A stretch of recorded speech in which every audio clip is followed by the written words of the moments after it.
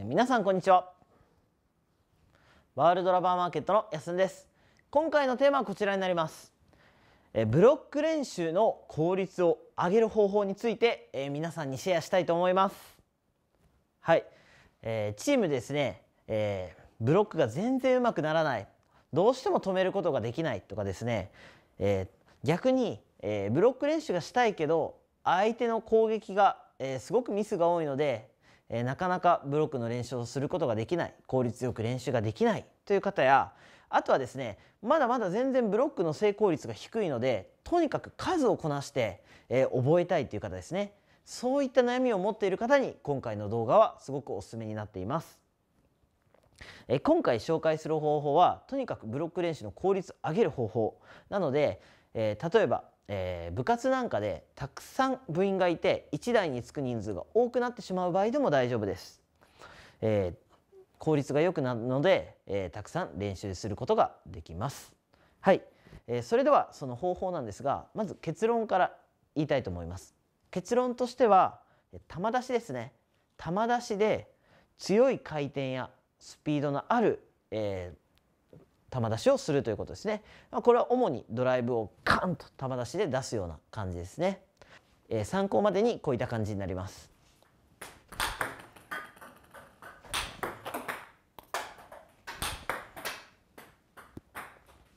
はい、えー、こういった感じで強いドライブを球出しでどんどんどんどん出すことができればもう当たり前ですけど練習の効率は良くなりますよね。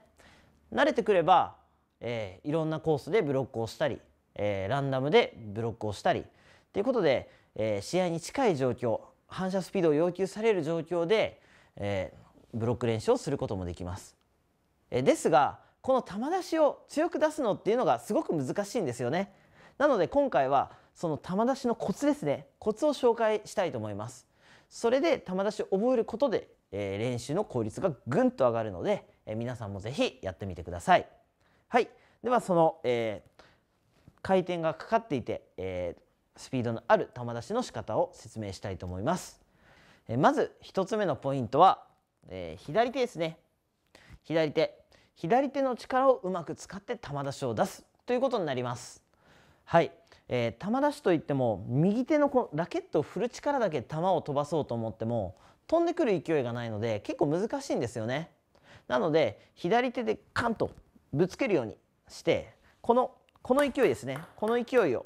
使うと、えー、ラケットを動かさなくても今これだけ球が飛んでいます。なのでこの左手の力をうまく使って、えー、やってやると、えー、それほど右手の力を思いっきり入れなくても、えしっかりと回転のあるスピードのある球を打つことができます。まずこの左手の強くぶつけるっていうところですね。強くぶつけるっていうのをとにかく意識してください、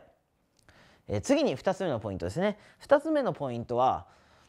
えそのまま弾き出すと棒玉ただスピードがあるだけの球になってしまうので回転をかけるためにですねボールをこすらないといけないですね。でボールをこするコツなんですけど、えー、ラケットの角度をですね少し下向きですね。斜めの角度を作ってください。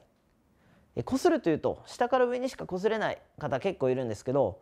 えー、しっかりとですねかぶせてやってボールの斜め上ですね斜め上をシュンと振ってやればしっかり回転をかけることができます。それに、えー、この角度だと前に振っていけるのでスピードも一緒に出すことができます。はい、えー、この2つ目のポイント、えー、ラケットの角度を斜め下に向けてこするというのを意識してみてください。はい次に3つ目のポイントです。3つ目のポイントは、えー、肘から先ですねここ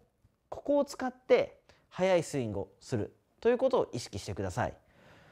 こう大きくなってしまうと球出しが安定しないのと肩に力が入ってしまって実際当たる瞬間のスイングはあんまり速くならないってことはすごく多いんですね。なので球出しの精度を上げるでさらにスピードと回転を出すっていうことでここの肘から先をしっかり使ってください。そうするとインパクトの瞬間があまりぶれなくなるので安定する確率が高くなってくると思います。はい、ではこの3つのポイントですね。左手のぶつける力をしっかりと使う。で、えー、ラケットはかぶせる。で、えー、ここから先の力をしっかりと使うでこの3つのポイントを意識して、えー、球出しをやってみてください、えー、ありがとうございました、えー、あとですね一つ補足のポイントになるんですけど、えー、練習する人のレベルですねブロックをする人のレベルに合わせて球出しを出す距離を変えるといいと思います。えあまりブロックが得意じゃないという方に対しては少し後ろの方から出すんですね。そうするとボールを待つ時間ができるので、え球を合わせやすくなります。逆にもうブロックがめちゃくちゃ止まるもっともっと厳しい練習をしたいという方に対しては少しネットに近づいて出すとえー、球が向こうのコートに届くまでの時間が短くなるので、えー、すごく、え、効率のいい練習になると思います。